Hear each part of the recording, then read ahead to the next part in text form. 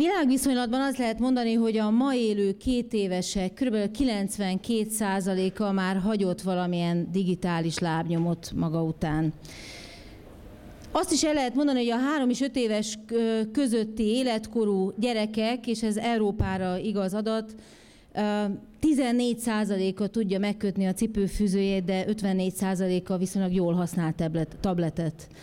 És azt is el lehet mondani, hogy Magyarországon a legutóbbi ifjúság jelentések szerint a fiatalok többsége tökéletesen úgy érzi, hogy bár része a világ információs kultúrájának, voltak éppen semmit nem tehet azért, hogy a világ hogy alakul. Tisztelt hallgatóság, én nagyon örülök, hogy ilyen késői órán megtisztelnek odaadó figyelmükkel, pláne ilyen állati jó téma után. Ugyanakkor azt kell mondjam, hogy e között a három adat között komoly feszültség van. Legalábbis én úgy érzem, és hogyha önök nem, akkor csak azt remélhetem, hogy adnak még egy kis esélyt, hogy bebizonyítsam, hogy talán mégis. És azt gondolom, hogy ez a feszültség tulajdonképpen a média tudatosságban áll. Őszinte leszek önökhöz, bizonyos szempontból ez a média tudatosság dolog egy csúnya szó lesz, egy bullshit. Úgy kitaláltuk, hogy igen, van, van média, és akkor jó lenne tudatosnak lenni, jó lenne érteni hozzá. Kérem, gondoljanak bele, hogy melyiküket tanította meg bárki, mielőtt írni kezdtek volna, és kézírást tanulni az általános iskolába, kifigyelmeztette önöket, hogy az a médium, az írásbeliség, amelynek birtokába kerülnek, milyen felelősséget ró önökre. Szerencsére most nem látok jó, tehát nem látom, kiteszi föl a kezét, ezért nyugodtan le is tagadhatják, hogyha ilyen volt vagy nem volt. Vagy kifigyelmeztette önöket arra, hogy amikor olvasni tanulnak, akkor az olvasás, tehát az írott kultúrába való ilyen típusú belépés nem pusztán kompetencia, vagy nem egy skill, esetleg még csak nem is a tartalomhoz való hozzáférésnek egy lehetséges módja, hanem konkrétan felelősség, amiben nagyon tudatosnak kéne lenniük. El kell mondjam önöknek, hogy önök sokkal többet olvasnak és sokkal többet írnak ma, mint tíz évvel ezelőtt. Körülbelül egyes adatok szerint 15-ször, de legalább 8-szor, 9-szer többet. Többet írnak, de nem biztos, hogy tudják, hogy miért. Többet írnak, de másképp írnak, és többet is olvasnak, de sok kutató szerint másképp. Vajon számot tudunk-e adni arról, hogy ez a mérhetetlen, erőteljes média környezet, amiben működünk, és ami minket tulajdonképpen számos cselekményhez és viselkedés formához szocializál, ez hogy hat ránk, és egyáltalán mi hogyan veszünk ebben részt. 2012-ben megjelent egy, ez még csak az én nevem, tehát semmi izgalmasat nem vetítek ki, Megjelent egy könyv, Kember és Zileszki könyve, ami arról szól, hogy Love After New Media, vagyis az élet az új média után. Egy nagyon szellemes kötet arról, hogy mi van akkor, hogyha rosszul gondolkodtunk mindvégig a médiáról és az új médiáról, mi van akkor, hogyha szerettünk úgy gondolni rá, mint valami tőlünk különválóra, és nem gondoltunk bele eléggé, hogy mi a mi felelősségünk, mi a mi tudatosságunk, és mi a mi műveltségünk hozzájárulása. Vagyis, hogyha nem gondoltunk eléggé bele, hogy mi vagyunk magunk a média. Ez az előadás most két dologról fog szólni, ez fog beleférni 18 percbe.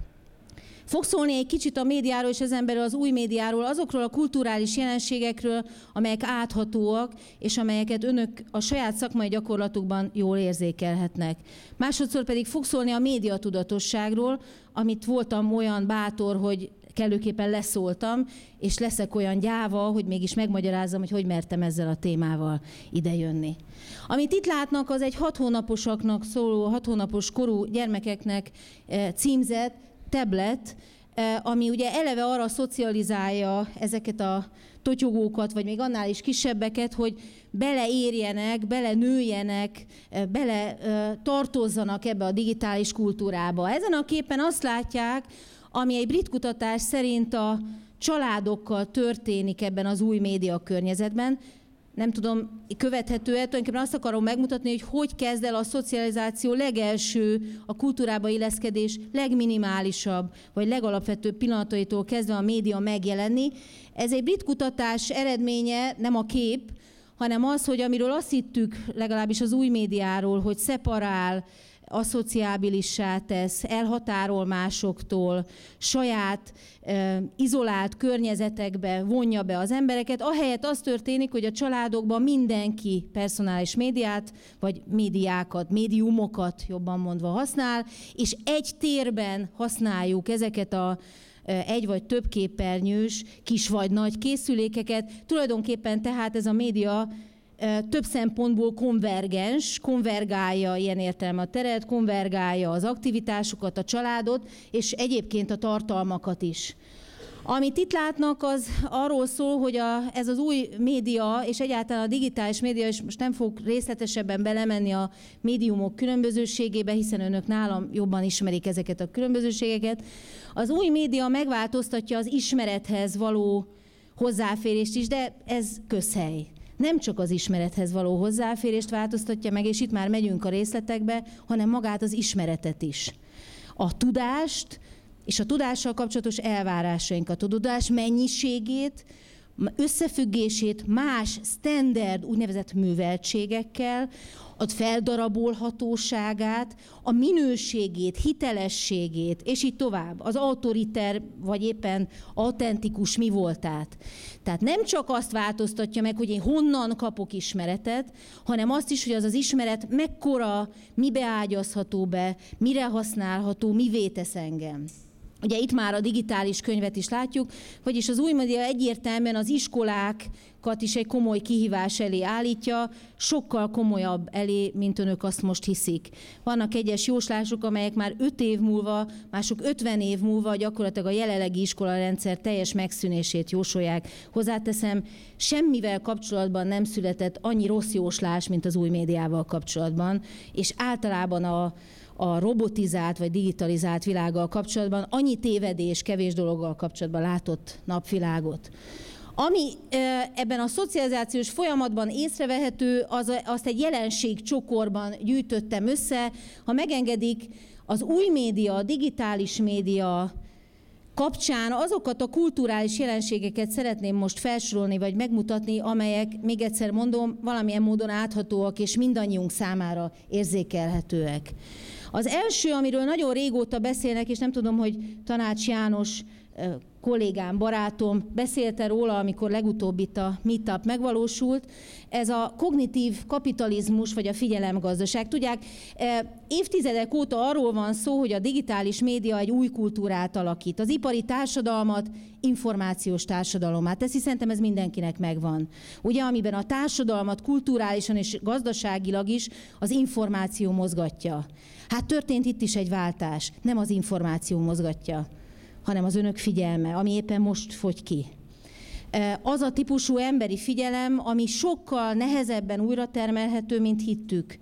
Kialakul tehát egy a figyelem által mozgatott információs vagy médiakultúra, amely azért, hogy elnyerje a figyelmet, egyre aktívabb, egyre impulzívabb, egyre erőteljesebb, és pont ezért sokkal erőteljesebben használja ki az emberi figyelmet. Egyes vizsgálatok szerint az érett emberi figyelem eddigi 10-12 perce, tehát folyamatos figyelem, koncentrált figyelem, reális ideje, ez a 10-12 perc, 5-6 percre csökkent. Köszönöm, hogy most fáradnak el először. Ez a bizonyos kognitív kapitalizmus arról szól, hogy tehát a figyelmet kell valamilyen módon meg, e, megszerezni, tőkévé tenni, a megismerés válik egyfajta mozgató rugóvá ebbe a térben, e, és itt valóban igen kevés figyelemmel van a média, vagy a média tartalom és a média technológia alkotója, alkotói arra, hogy mennyire fáradunk el, és hogy ez mit tesz a tudattal. Csak egy apró megjegyzés, sokan tulajdonítják az új média információs zajainak, például az autizmus megnövekedését. Nyilván önök tudják, hogy ezt eredetileg genetikai betegségnek, vagy genetikai forrású betegségnek tartották.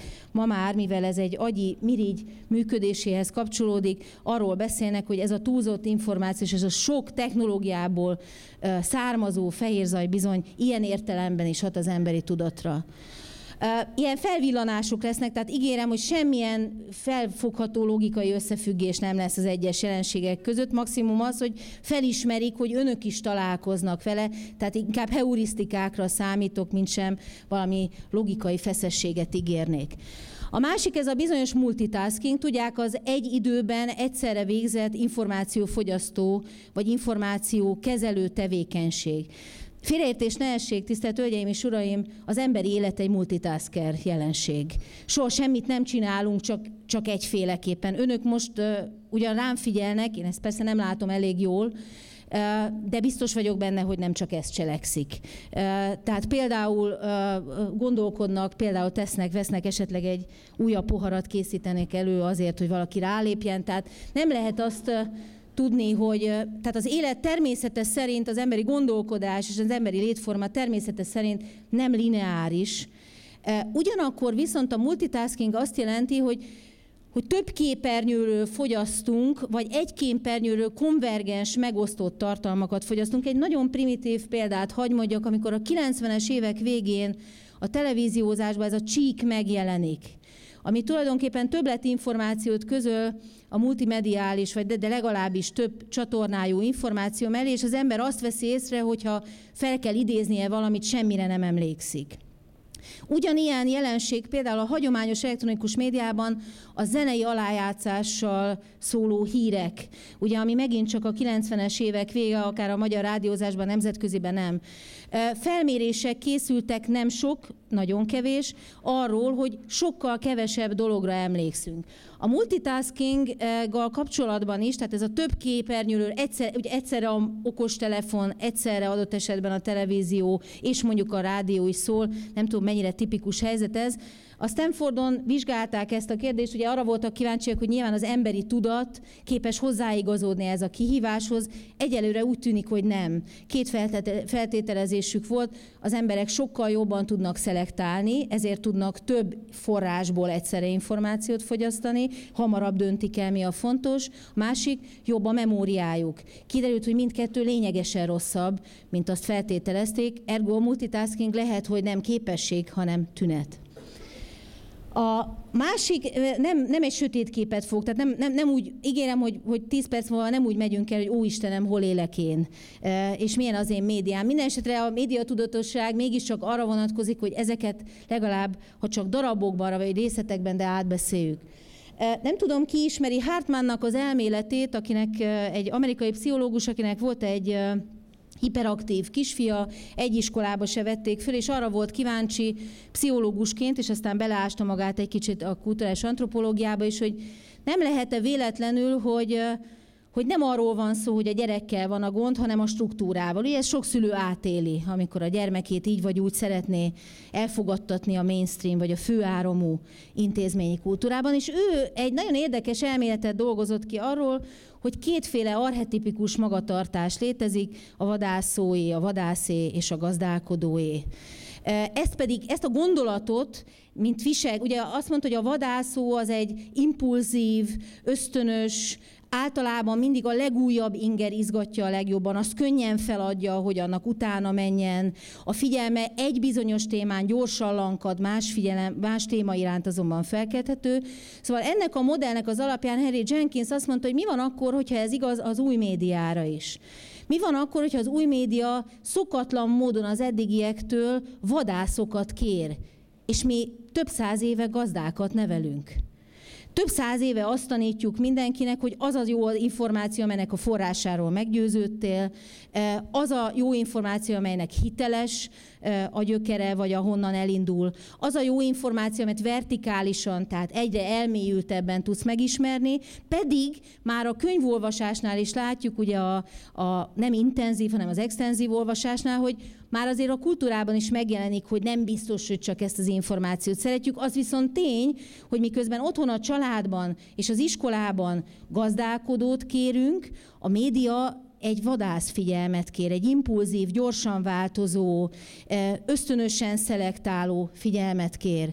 Kialakul egy élménykultúra, ebben nem kell nagyon belemennünk, ugye a 90-es évek végén megjelenik egy könyv, hogy hogy szórakoztuk magunkat halálra, az élménykultúrát pusztán azért említem, mert megszűnik körülöttünk a és ez nem csak a nyelvi vagy a kommunikációs kérdésekre, de a, a karakteresség, a műfajok karaktere, a társas viszonyok karaktere, gondoljanak az udvariasság, a, a kérdéseire, gondolnak a műfai kérdésekre, tehát egyfajta élményközpontú hibrid világ alakul ki, amelyben megpróbálunk korábbi megnevezésekkel új jelenségeket leírni. Ilyen például a blog, ami amivel nagyon sokan próbálkoztak már, és szerintem senkinek nem sikerült pontos definíciót adnia róla. Talán az lenne a legjobb, nem én leszek a hős, aki megoldja ezt a kérdést, de talán az lenne a legjobb, hogy az exploratív írás. Tehát a blog tulajdonképpen egy attitűd, nem egy termék. Ez is az élménykultúra egyik sajátja. Megjelenik az a fajta elvárás az új médiával, hogy a valóság nem elég hogy a valósághoz hozzáadható a komputer által, vagy a net által generált információ. És ennek csak ilyen nis dolgai, ugye a Google Eye, vagy, vagy akár azok a, most már sok ilyen készülék áll készen arra, hogy fejlesz a valóságot, tehát hogy adj hozzá valamit a médiáddal ahhoz, amit átélsz. Ne helyettesíts, ez már nem a virtualitás világa. Ne vást föl egy másik valósággal az igazit, hanem adj hozzá. Én például milyen jó lenne, ha most viselhetném ezt a nagyon csinos szemüveget, amit már több államban be is tiltottak az Egyesült Államokban, és láthatnám, hogy itt mekkora a hőmérséklet, vagy hogy önök egy perccel ezelőtt, mikor én nem látom, mit posztoltak ki a Facebook oldalukra, ott látok egy világító mobiltelefont, úgyhogy ez aktuális kérdés. Van egy, egy nagyon jellemző tulajdonsága és szokatlan tulajdonsága az új médiának a személyre szabottság. Ez például a kontroll szempontjából nagyon érdekes. A pszichológusok rengeteget panaszkodnak, hogy nem tudjuk, hogyha a mai gyermek médiát fogyaszt, akkor bár velünk egy térben teszi, mivel személyre szabott, neki feljövő, neki megígért általa, vagy a közösség által szelektált információ nagyon kevés kontrolligényt jelenthetünk be. Hogy egyszerűbben fogalmazunk, e, tisztelt hallgatóság, fogalmunk nincs, hogy mit fogyaszt, mert annak semmilyen lineáris, kiszámítható, nem asszociatív ellenőrzési módja már nem létezik. És a következő jelenség pedig az, hogy mindehhez képest, ami a tudatunkkal, gondolkodásunkkal, tevékenységeinkkel, kultúránkkal történik, megjelenik egy nagyon természetes térformáló vagy térberendező viselkedés. Egy friss adat szerint egy mai brit háztartásban tíz uh, új technológia jelenik meg, ebből hat okos Ugye az okos tudjuk, hogy micsoda, tehát hogy konnektált, bizonyos értelemben, tehát interaktív, a netre fölkapcsolódott és állandó kapcsolattartási lehetőséget okoz. Azt is tudjuk, hogy a magyar háztartásokra is igaz egy nagyon nagy fokú mobiltelefon penetráció, nem tudom, tudják-e az adatot, 120 százalék, körül 118 százalék. Megnyugtatok mindenkit, a Oroszországban ez 189 százalék, tehát vannak, akik előrébb járnak, több szempontból, és körülbelül 70, 70 százalék, ugye itt változóak az adatok, az internet penetráció, tehát ezeket nagy részt az otthonainkban mutatjuk meg, persze jegyezzük meg, hogy szó nincs arról, hogy minden otthonban. Magyarországon két éve nem csökken a digitális szakadék mértéke, ugyanazok vannak lemaradva, akik eddig, de akik benne vannak a pácban, vagy benne vannak ebben a keretben, azok azt látják, hogy az otthon is egyfajta technokapitalizmus területe lett, nem csak a termékek minősége, és itt most nem akarok márkaneveket vagy gyártóneveket mondani, hanem az elhelyezése, mérete, mennyisége szempontjából. Itt az IKEA-nak a tavalyi katalógusát látják, nem tudom, tudják, ez egy fejlesztett valóság katalógus volt, abban az értelemben, hogy be lehetett hívni okos készüléken, és oda lehetett gyakorlatilag a tableten vagy az okostelefonon keresztül oda lehetett nézni a térbe a megvételre váró butordarabot. Engem mélységesen elgondolkodott, mindig hajlamos voltam a filozofálgatásra, hogy vajon akkor minek megvenni. Ugye az egész, otthonomat nézhetném egy okos készüléken keresztül, és minden nap más örömmel töltene el, de ugye ez már gyermekkorunk május 35-ében valahogy körvonalazódott. Mik a jellemzők, amelyeket általában a kutatók emlegetnek? Az egyik, ami egyértelmű, ez a vadászó magatartásból származó türelmetlenség, ez, ez ugye tud a függőséggel, ha egyáltalán van függőség, tud egészen nagymértékű lenni. Tisztelt jelenlévők, ma ugye az SSD-vel, sok minden egyébbel pont azt látjuk, hogy két fejlesztési területe van ma a technológiának, az új média technológiának. Az egyik az akkumulátoridő, tehát minél tovább maradj konnektált, minél tovább maradj a permanens médiát közelében, és soha ne aludjon, illetve helyetted is aludjon, hogyha nagyon muszáj, tehát legyen mindig veled. A másik pedig a gyorsaság, tehát hogy mindent egyre gyorsabban lehessen elérni, hogy soha semmire ne kelljen várni. Erről egyes szociológusok állapítják meg azt, hogy ez például biztos, hogy komoly hatással lesz például az életszakaszokra. Hogy az életszakaszokban mennyi türelmünk van egy-egy egy-egy időszakot, egy-egy életkort kivárni, annak az érési, morális vonatkozásait is megérteni. Van egy állandó, egy ilyen connectedness. Kérem, önök nyilván ezer történetet nagyon taszítanak a rém, rémisztő történetek, ugye, hogy, hogy és akkor levették az adatait, mert hát ugye a big data korában mindenről van adat, és azt valaki meg is őrzi, és számos másolata létezik ennek az adatnak. Mindenesetre az állandó kapcsoltság nem abban a tekintetben érdekes szerintem, vagy az, nem ezt ajánlom meggondolásra, hogy veszélyes, hanem abban az értelemben érdekes, hogy vajon van-e ekkora szociális bőrünk? Vajon mi történik az emberi, az úgynevezett hétköznapi élettel, és aki hétköznapi élet filozófiáról már olvasott, mi történik a dolgainkkal akkor, amikor ez mindig közölhető?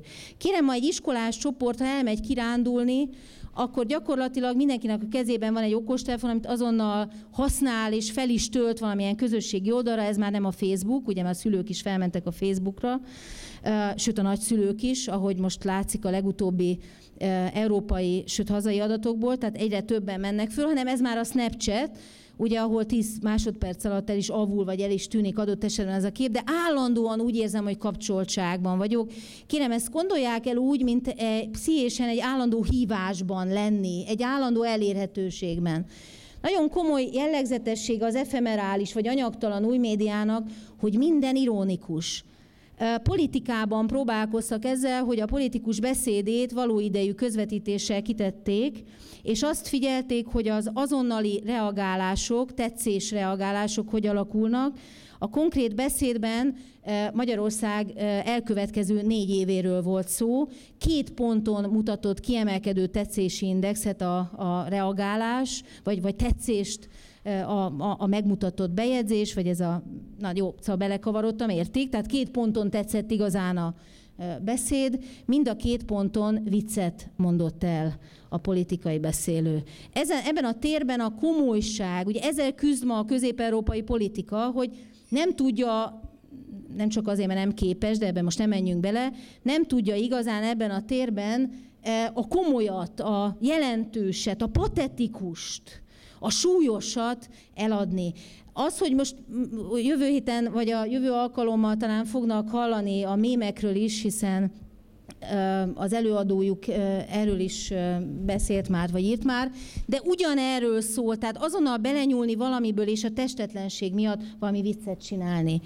Többenetes, ezt a 70-es évek óta tudjuk, és ez nem csökkent, egyre, tehát az egyre több információ, ami reálisan és kognitívan egy nagy elégedettséghez vezetne, jelentősen növeli a bizonytalanságérzést. Valamennyi általános társadalmi képről szóló adat arról szól, hogy biz, bizonyosat senki nem gondol és senki nem érez. Ezért is idéztem föl a Magyar Ifjúság jelentést, amiben nagyon komoly és kult szó a bizonytalanságérzés a mai magyar 18 évesek körében. És végül, de nem utolsó sorban, nagyon sok eh, publikáció születik arról, hogy változunk, mint személyiségek is. Tudják, az új médiával kapcsolatban minden tudományág világ másképp közelít. A pszichológia állandóan fenyeget, hiszen az egy inkább individuális típusú tudomány, most leegyszerűsítve mondom, és félti az emberi tudatot, érzelmet, személyiséget. Adott esetben a kulturális antropológia vagy a médiakutatók sokkal optimistábbak. Én most a kettő között ilyen média realistának hazudva magam, azt mondom, hogy igen, vannak érdekes kutatások. Ilyen Elias Abujede, aki 2011-ben jelentette meg az MIT-nak a, bocsánat, a Stanfordnak a pszichiátere, a Virtually You kutatásának az eredményét, amelyben öt tulajdonságot állapított meg, ami általában a, gyakorlatilag ez a 29 év alatti korosztályra dominánsan jellemző, és az új média hatásának tudható be. Szerinte nagyon sok szempontból cegcáfolt egy, több korábbi kutatást. Az egyik ilyen tulajdonság a grandiozitás érzése hogy az új média lehetővé tette, hogy úgy érezzük, hogy nincs határa a képességeinek, a memóriánknak sem, a képességeinknek sem, a szerencsénknek sem, tehát egy ilyen grandeur, egy ilyen nagyságrendérzés. A másik, ez nagyon érdekes egyébként az identitás szempontjából az oversharing, a túlmegosztás, a, a személyiségnek a leginkább pozitívan való, való bemutatása. A másik, amit sok pszichológus mond, az a narcizmus, vagy a narcisztikusság. Ez természetes. Itt vannak kollégák, mi tudósok is, hát nem vagyok tudós, de akik e-, ezen a téren próbálkoznak és igyekszenek, állandóan önmagunkat dokumentáljuk, tiszta betegség, higgyék el, tehát nem normális dolog. Amikor például most a oktatásügyben ezt a portfólió dolgot talán, nem, talán megvan ugye ez a beszédmód, ez egy ön, ez egy narcisztikus tevékenység. Tehát azon dolgozni, hogy a tevékenységeimet újra és újra dokumentáljam, hogy állandóan saját eredményeimet eh, meglehetősen egyoldalúan, mert semmi érdekem nem fűződik ahhoz, hogy a rosszat közöljem. Szóval, hogy ez ebben a térben, a digitális térben nagyon erőteljes. A harmadik a sötét, tehát a darkness, a sötét dolgok iránti, a titkok. Ez se új egyébként, de állítólag ez Abu Jaid véleménye és kutatása szerint változik. Ami ennél fontosabb az az impulzivitás, ez az ösztönösség, tulajdonképpen ez a hiperlink világa, honnan asszociatíve innen oda kell ugrálnom. Az előző előadás arról szólt, hogy milyen nehéz az emberek figyelmébe kerülni. Egyáltalán nem. Csak fogalma nincs senkinek, hogy éppen mivel sikerül majd bárkinek bármikor fel lehet kelteni. Ez a döbbenetes a digitális kultúrában, hogy nincs ez, hogy tudjuk, hogy ha a panda ne, négyet szült, akkor be fog kerülni, ha csak hármat nem. Fogalmunk nincs, hogy vannak persze kutatók, hogy mi, mi mémképző, mi nem mémképző, és így tovább. Tehát e, ez a bizonyos impulzivitás, és végül a regresszió, tehát a gyermekkor felé irányuló regresszió, ennek egyébként számos oka van, hogy a felnőtt korban is miért ad elő, vagy miért mutat ilyen, ilyen mozdulásokat az új média. Ezeket a képeket azért tettem be, hogy a figyelmet megzavarjam. Most pedig nagyon röviden, hiszen alig van már időm, csak át megyek azon, hogy mi minden változik, és ez tényleg csak egy egész kis szelet, mert persze mondhatnám azt is, hogy semmi. Nagyon jól el lehetne önökkel vitatkozni, hogy egyáltalán új ez az új média. És a új miben új. Azon kívül, hogy, egy, hogy már nagyon régóta új, ez is egy kicsit gyanús, meg hogy azért nem tudjuk megmondani, hogy az újdonságnak azon kívül, hogy milyen kódon közül, meg milyen kapacitással közül, meg hány embert von be, még mik a vonatkozása. Én most arra vállalkoztam, hogy mégis ezeken a területeken új. És akkor nézzük meg, hogy mire jó ez a megkritizált médiatudatosság. Tulajdonképpen semmi másra, mint hogy az ember szembenézzen a saját társadalma elvárásaival magával kapcsolatban, a szülő a gyerekével kapcsolatban, a gyerek a szüleivel kapcsolatban, és reflektáljon kritikai értelemben mindarra, amit a médiumával tesz, amit abból használ, és amit ahhoz hozzátesz, hogy itt a prosumer, vagy a, a ugye a egyszerre alkotó és fogyasztó befogadón gondolkodunk. Ki a média tudatos? Tisztelt jelenlévők, önök mind. Persze egyikük sem. És azért nem, mert például mérhetetlen sok időt töltenek médiumok előtt. Sokkal többet, mint szeretnének, és egyelőre nem tudják a megoldást erre. Szívesen megkérdezném, hogy kikapcsolta ki az utolsó egy hétben bármilyen készülékét, amit magával hord. Csak azért, hogy ne érjék el kivéve a színházban volt, és magukra szóltak a hangos beszélőből. Tehát egyáltalán hiába hisszük, hogy média tudatosak vagyunk, ez nincs így. És egyszerűen csak gondolnak mondjuk egy GPS alkalmazásra, amikor inkább elmegyünk egy rossz helyre, mert nem merünk anélkül adott esetben közlekedni. Tehát nem biztos, hogy mindig tudunk reflektálni. Van-e különbség gyermek és felnőtt média tudatosság között? Igen, sokkal tudatosabbak a gyerekek.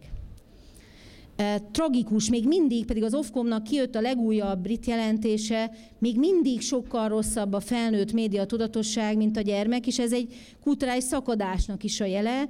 Mi, még mindig hamarabb tudnak tőlünk adatot elkérni, még mindig ösztönösebben töltünk föl valamit, még mindig nem értjük, hogy egy bizonyos kommentelésnek hányféle jelentése lehet. Ennél adott esetben már sokkal tudatosabbak, például a 8-tól 12, vagy a 15-től pontosabban 29 évig terjedő. Ki tudatosítson, mondják meg. Ha nincs egy kulturálisan ismert pecen minta, hogy én fogom megmondani a gyermekemnek, hogy te akkor használod jól az írást, az olvasást és, a, és az okostelefonodat, meg a tabletedet, akkor, hogy, hogyha ezt és ezt csinált, ha én nem tudom, hogyha a család életem arról szól, hogy együtt ülünk egy nappaliba, és nem szólunk egymáshoz, de érzem a testhőjét, mert mellettem ül, és, és együtt nyomogatjuk a képeket, akkor vajon kinevel kit média tudatosságra? Ezt már a televíziónál érdekes volt megfigyelni, hogy kutatások bizonyították be, hogy amikor kialakult ez a pszichológiai vonal, hogy a szülő nézze együtt a gyermekével a tévét, különösen az erőszakos tartalmakat, akkor egy csomó vizsgálat megmutatta, hogy ilyenkor a szülő tátott szájjal nézi a filmet, a gyermek még magyarázza, hogy nézd, papa, az a gyilkos ő fog szúrni. Tehát egyáltalában nem tudjuk, van ebben egy hipokrita álláspont, hogy mi idősebbek tudjuk. Itt pont az a kérdés, hogy vajon hol termelődik a média tudatosság. És mihez szükséges ugye ez a felkészültség? Valaha valaki kérni fogja ezt úgy, mint egy Excel táblázatkezelő. Tudják, mint amit az önéletrajzba be kell írni. Vala, vala meg fogja valaki kérdezni, hogy végeztél ilyen tanfolyamot, volt ilyen stúdiumod, mit tanultál?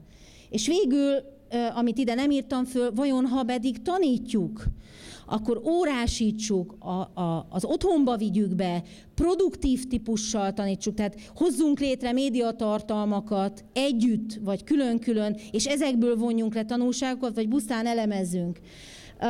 Ezért, és ez lesz az előadásomnak a vége, miközben felvillantom, hogy rengeteg kérdéssel érkeztem.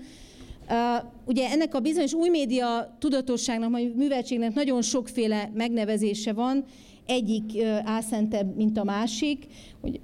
Ugye tulajdonképpen az eredeti gondolatból kell kiindulnunk, vajon tudjuk-e igazán az összefüggéseket. Itt csak néhány példát szeretnék megmutatni, amikor maga a médium, maga az új média nevel média tudatosságra. Nem tudom, önök közül kihallott a Citizen Me appről, iOS-on már van, a, vagy a Molle Industriáról, ami egy radikális játék, online játékok honlapja, és gyakorlatilag önök mindent egy, egy nagyon intenzív játékban meg tudnak tanulni arról, hogy miért ne egyenek McDonald's-t, McDonald's-ot, mindegy a ragozást úgy gondolom, itt elnézik nekem, hogy miért ne vásároljanak ilyen vagy olyan helyen, egy nagyon-nagyon provokatív és nagyon radikális játék, vagy itt van például a parent appek, különösen ugye az Apple jár élen ezekben, mutatok néhány példát, ez a Citizen Me. A Citizen Me az egy olyan állampolgárságra nevelő gyakorlatilag applikáció, ami arra két dologra figyelmeztet, hogy ügyelj arra, hogy az új médiában való mozgásoddal, minden egyes kommunikációs aktusoddal vagy valahogy jelentesz magadról, Például felajánlja, hogy megnézhessük, hogy a Facebook, Twitter vagy bármely egyéb bejegyzésünkben ezt képekre még nem dolgoztak ki, tehát mondjuk az Instagramra kevésbé alkalmas, de hogy ez alapján minek vagyok mondható konzervatívnak, liberálisnak, vallásosnak, vagy éppen ateistának, hogy meredjek rá arra a képre, amit valójában a kommunikációmmal mondjuk másoknak mutatok. Kiderült egyébként erről, hogy sokkal többet gondoltak róla, mint ami végül lett. Kis volt körül, kicsi volt körülötte a felhajtás, és úgy tűnik, hogy nem is komolyan használják. Valószínűleg inkább arra lesz jó, hogy adatokat lehet gyűjteni. Itt a Mole Industriának ugye ez a bizonyos McDonald's video game látványa nagyon érdekes, hogy el, ahogy átvisz egy online játék formájában egyfajta kritikai attitűdöt erősítve egy társadalmi jelenséggel kapcsolatban. Tehát maga az új média felület egy tudatossági tényező, és a parent appekre pedig ajánlom szülőknek, a gyerekeknek feltölthető étkezési app, vagyis amikor szól a szülő, hogy most van ebéd, akkor kikapcsol a gyerek okostelefonja. Nem tudom, látják-e, hogy, hogy mint egy ilyen visszaszámlálás jelzi, hogy a remény nem hal meg. Tehát, hogy 59 perc, 30 más, 33 másodperc múlva visszatérhet. A média tudatosságnak tulajdonképpen három D-je van, hozzájárulni ahhoz, hogy a médiát dekonstruáljuk, szétkapjuk, hozzájárulni az, hogy denaturalizáljuk, tehát elhitessük, hogy ez nem maga az élet. Tehát, hogy ebben van valamilyen artificiózus, valami mesterséges, és végül a demisztifikálásához, tehát hogy a varázsa is lebontható, de ez mind dekonstrukció. A média tudatosság ideájai adnak választ arra, hogy tulajdonképpen mire kell törekednünk, csupa szép szót fognak hallani. Egy, van egy demokratikus ideál, vegyél részt. Van egy kulturális ideál, fejezd ki magad és van egy versenyképesség, vagy egy tudás ideál, hogy vegyél részt az ismeret termelésben és az ismeret közlésben. Három módon ezek a, ezek a programok három módon jelennek meg, megtanítják a navigáció, vagy a funkcionális területeket, a kontrollt, vagyis a kritikai területeket, és végül a tevékenységben a szabályozó területeket. Tehát tulajdonképpen három dolgot próbálnak tanítani azok a tanárok, akik sokkal kevésbé médiatudatosak, mint a tanítványaik, a hozzáférést, a kritikai hozzáállást és a kreativitást. E, és ha megengedik, itt már csak a végéhez jutok el, Höxman és Pointsnak a 2012-ben megjelent könyvéhez, hogy a média tudatosságnak is hét célja van, és hogyha, hogyha annyi energiájuk van még, és megtisztelnek, hogy majd egyszer a jövőben egy pár perc gondolatot még ennek szánnak, akkor gondolkodjanak el a saját és a környezetük gyakorlatain. A consciousness, vagyis hogy mindig kell kommunikálnom, lásd Facebook bőjt, lásd ugye lejövők, felmegyek, ennek a tudatossága, a konnektáltság, a megfigyeltség, és ugye ennek kapcsán a személyre szabottság, a convergence, tehát hogy hogy, hogy kerülök agre, véleményagregátokba, véleményösszességekbe, és hogy tudok azokból kikerülni, a creativity, vagyis a kreativitás, az állandó cselekvés, figyelmeztetek mindenkit, ez nem valódi kreativitás, a valódi kreativitás teremt, ez inkább montázs és remix. A copy-paste és a community, vagyis hogy mennyire vagyok felelős, nem csak abban, amit magamról megosztok, hanem hogy a másik figyelmével, mint egy jó kis kognitív kapitalista, hogy bántam méltóképp bántam-e az ő figyelmével. Ez már tényleg mindenen túlmegy, úgyhogy ezzel búcsúzom önöktől, mert hogy a média tudatosságnak nem csak az, az, az a célkitűzése, hogy a médiáról mindent tudjunk, hanem hogy az időnket is jól kezeljük. Én biztos leszerepeltem ezen a, ezen a területen, de nem lehetek elég hálás, hogy megbocsátanak. Köszönöm a figyelmüket.